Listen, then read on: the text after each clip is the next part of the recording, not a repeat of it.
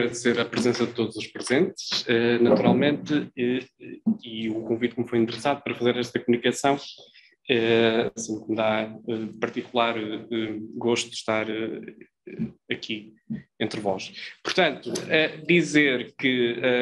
a nossa comunicação visa essencialmente a problemática da floresta em Trás-os-Montes, designadamente com a com a pressão agrícola na segunda metade do século XVIII e no prolongamento quase integral do século XIX. Eh, eh, refletem-se por isso indicadores sobre dinâmicas de evolução da paisagem florestal, ou das paisagens florestais, se assim preferirem, e da própria biodiversidade, partindo da leitura de fontes impressas como floras, eh, diários de campo dos cientistas, relatórios, artigos científicos, e memórias. Metodologicamente, baseamos-nos, por isso, sobretudo, na análise dos principais ciclos de desflorestação e arborização, eh, segundo políticas e práticas de gestão local da floresta, juntamente com outros recursos naturais. E, e, ao responderem sobre serras e rios, eh, as memórias paroquiais referem frequentemente a vegetação mais abundante. Desde logo, o levantamento geral destas informações permite-nos uma primeira aproximação ao mapa das principais espécies e conjuntos de vegetação natural. Assim, no contexto da distribuição nacional das grandes espécies ainda em meados do século XVIII, corresponde a Trás-os-Montes uma grande diversidade e as mais densas manchas do castanheiro, a terra quente no eh, Alto Douro. Por sua vez, oliveiras eram ainda desconhecidas em praticamente toda a comarca de Miranda. Ora, com a desflorestação à escala nacional de árvores, designadamente de grande porte para o arsenal da Marinha, José António de Sá uh, continua a referir a abundância de árvores silvestres em trás-os-montes, como chopos, negrilhos, carvalhos e sobreiros, designadamente junto aos principais caminhos e nos ditos montes que eram, essencialmente, à época, eh, espaços de pastagem. Ora, algumas destas árvores eram então plantadas, outras produziam-se naturalmente, serviam para madeiras, lenhas, designadamente a partir do carvalho, e, inclusivamente, algumas folhas uh, uh, para a alimentação do gado suíno. Uh, já no ano de 1789, duas partes do Conselho de Chaves produziam castanheiros, árvores silvestres ou mato, sendo que uma era inculta e outras duas, as restantes duas, diziam-se mal cultivadas. Comparativamente, Medeiros Velho refere, precisamente na comarca de Miranda, a adequação da terra para a plantação de castanheiros, existindo, contudo, poucos na proporção dos terrenos disponíveis.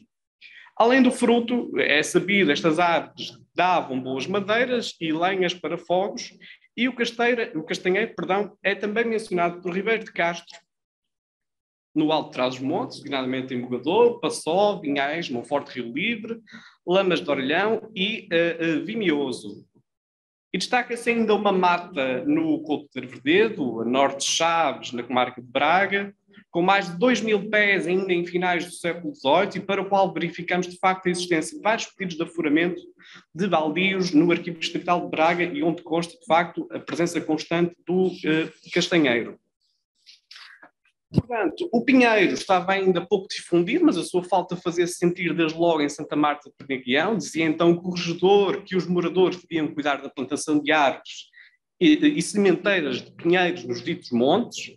Como eu disse anteriormente, serviam essencialmente com espaços de pastagem. Portanto,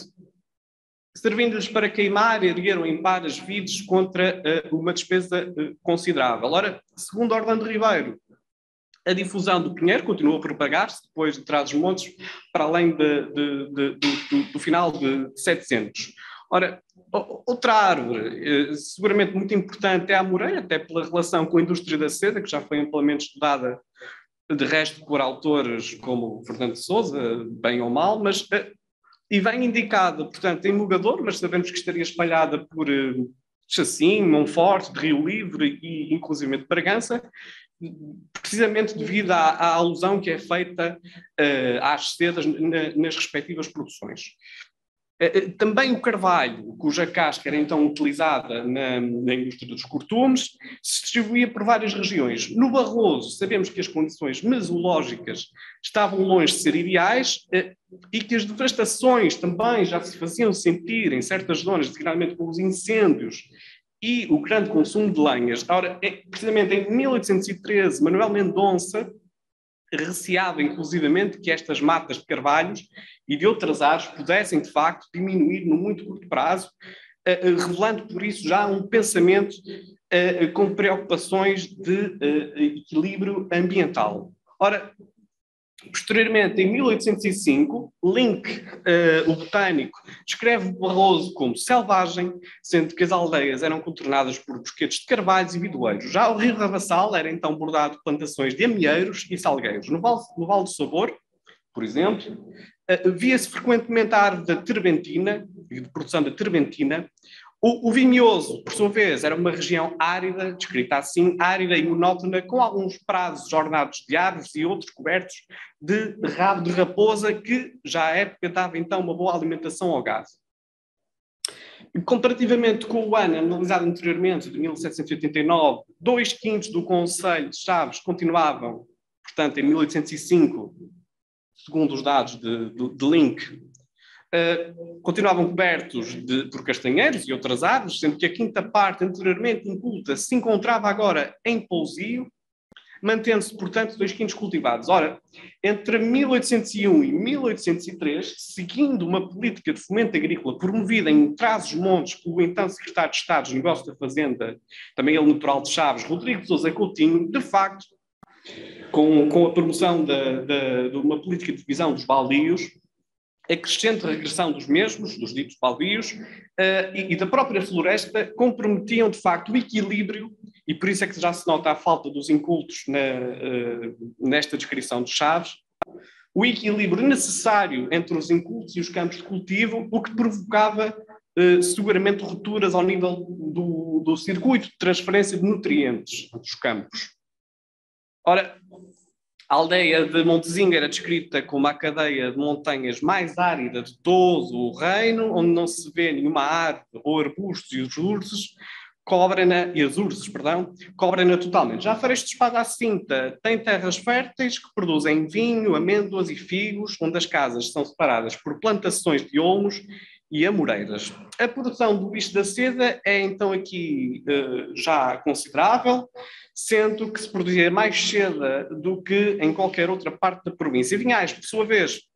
situa-se numa garganta fértil, cercada de montanhas, em parte áridas e em parte cobertas de bosquetes de carvalhos. E apesar dos carvalhos abundarem uh, juntamente com outras árvores mais espessas, o grande consumo, os incêndios e a própria irregularidade dos cortes que contrariavam a lei de 27 de novembro de 1804 eh, todos estes fatores provocariam efetivamente uma diminuição a curto prazo. E apesar das matas no antigo regime serem abrangidas por regulamentos e convenções sobre direitos de uso e serviço, verifica-se de facto uma desflorestação que podemos descrever como galopante das matas no, neste Conselho de Chaves. Ora, as necessidades de madeira no país para o arsenal da Marinha, mas, mas também para a construção civil, lenhas, equipamentos, utensilagens e, inclusivamente, usos da lavoura, juntava-se então nesta praça o grande consumo de lenhas por parte de particulares, designadamente uh, fábricas de louça e telha, fornos de, do exército e hospitais militares. Ora, uma vez que aqui já quase não existiam lenhas, as mesmas provinham então do Barroso. E por comparação com uma realidade completamente distinta, uh, se recuarmos a meados do século XVIII, verificamos de facto que através das memórias paroquiais uh, é-nos apresentada uma planta de chaves com a representação, então dita descrição topográfica da Vila de Chaves, onde consta de facto a representação uh, com a devida referência manuscrita, portanto, de muitos castanheiros, inclusivamente algumas oliveiras e árvores de frutos, o que é um dado bastante importante e permite perceber que, de facto, se deu uma grande desflorestação no, no Conselho de Chaves. Ora, no ano de 1827, continua a mencionar-se a profusão de árvores silvestres, eh, designadamente freixos, carvalhos, negrilhos e álamos, nos prados e tapadas de trás dos montes. Ora, o desmantelamento das estruturas do antigo regime Sabemos a propriedade uh, muda de mãos e o regime de exploração passa então a privilegiar uma lógica que podemos designar por, uh, por uma pulsão de, digamos, utilitarismo capitalista. E afirma-se, portanto, já que não há razão para se conservarem estas árvores, havendo portanto, lenha de sobra, e sendo esta a sua única utilidade, pergunta-se inclusivamente por que não se cortam ou se substituem por outras como pereiras, macieiras, cerdeiros, marmeleiros ou mesmo gingeiras, sendo estas menos danosas aos pratos e, por conseguinte, mais úteis ao cultivador. Ora, em, ainda em 1836, esta cadeia de montes encontrava-se coberta por floresta de ambos os lados, vestando ursos e carquejas nos cumes. Como uma das, das, maiores montanhas, ainda atualmente, traz os montes, o Larouco reparte, eh, como é sabido, águas para os rios Tâmega, Cava e Lima, e as suas encostas cobriam-se então de abundantes matos arbustivos, sobretudo carvalheiras, cujo corte das lenhas e o fogo ainda não, não, não os faziam diminuir. Uh, portanto, segundo o Conselho de Saúde Pública do Reino, a cidade de Bragança era quase erma de árvores, encontrando-se apenas alguns negrilhos nas suas imediações, e a composição da flora uh, era, portanto, idêntica à das restantes províncias no, setentrionais do reino, com exceção, eh, importa dizer, da Laranjeira e da Oliveira, uma vez que estas não estavam num clima tão irregular e extremado como aquele de, de,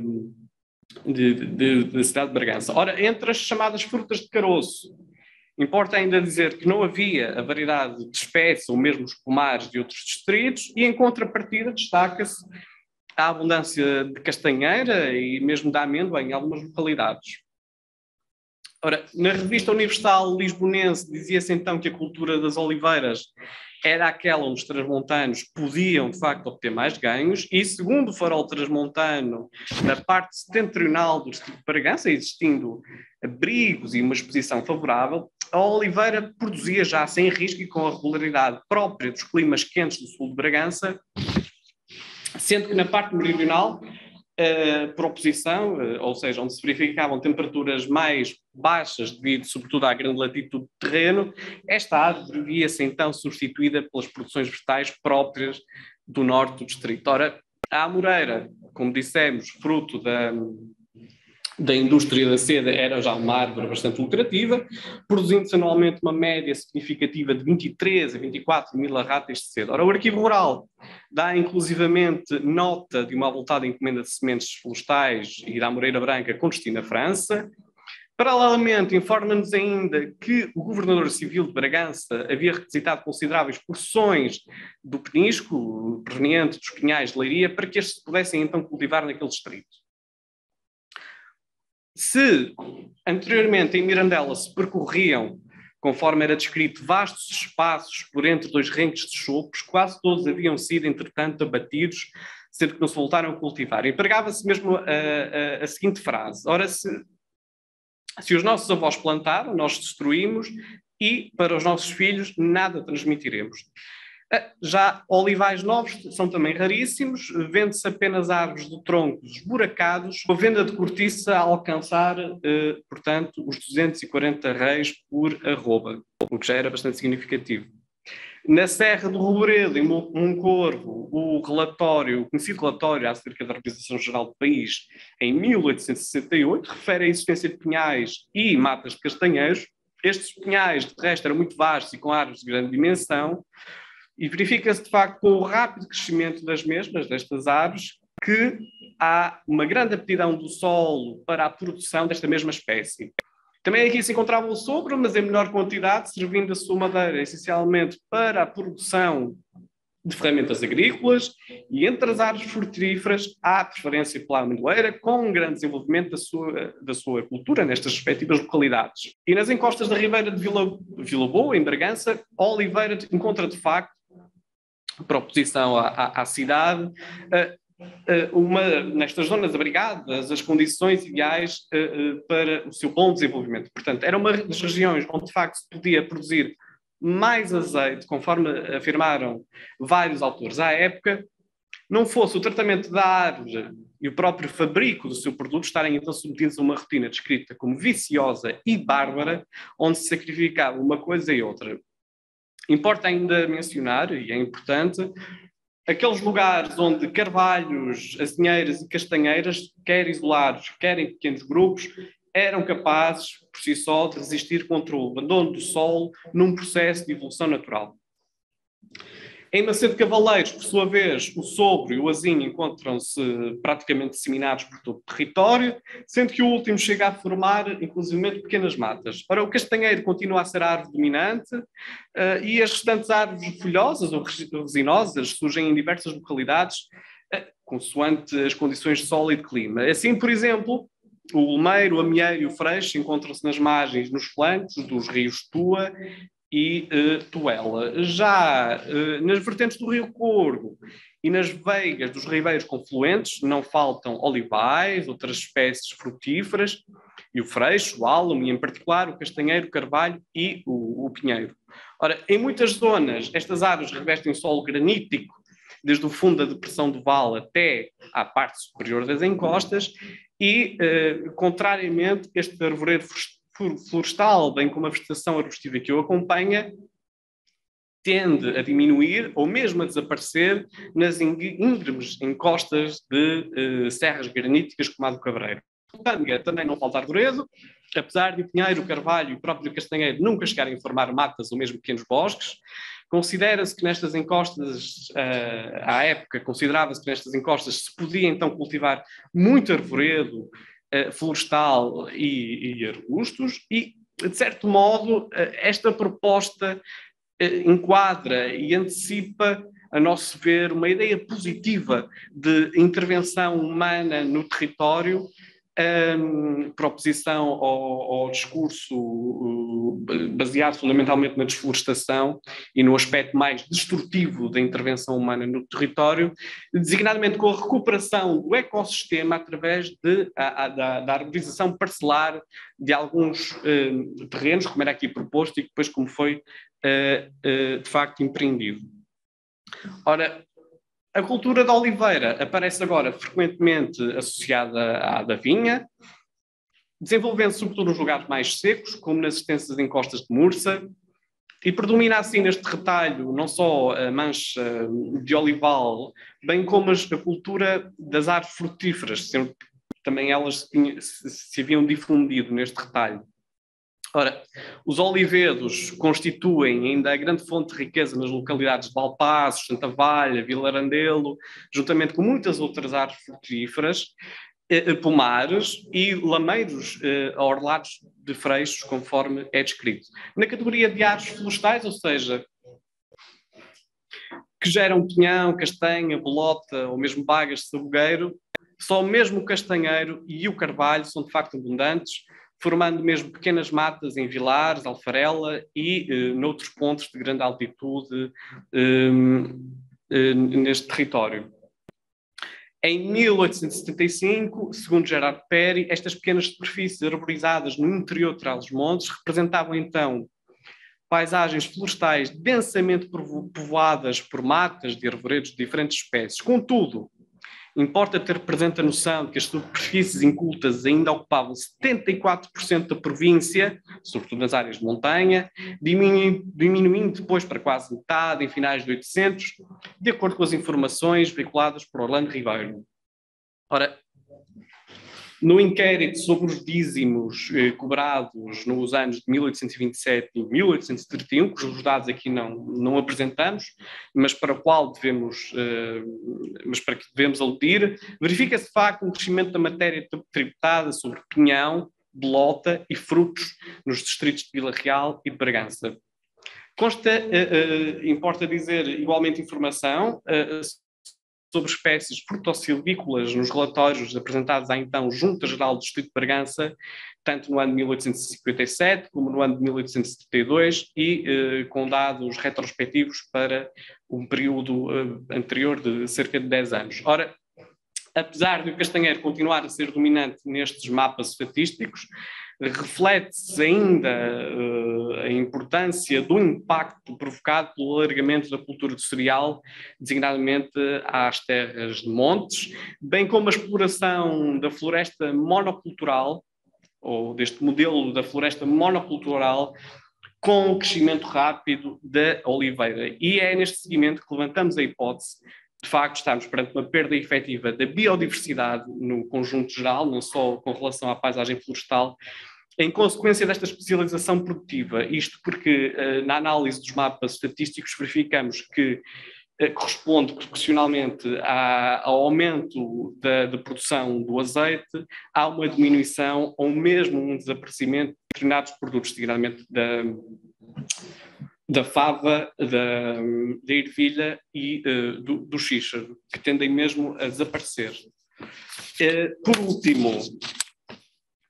dizer ainda, portanto, para concluir, eh, que com um progressivo aumento da população e a necessidade de alimentos entre a segunda metade do século XVIII e o prolongamento do século XIX, de facto, as políticas de fomento agrícola e a própria evolução natural, aqui acentuada, muito acentuada pelos efeitos da chamada doença da pinta nos castanheiros ao longo da segunda metade do século XIX,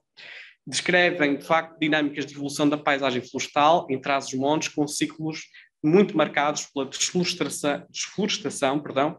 e o que provocava, eh, naturalmente, rupturas ao nível da previsão de lenhas.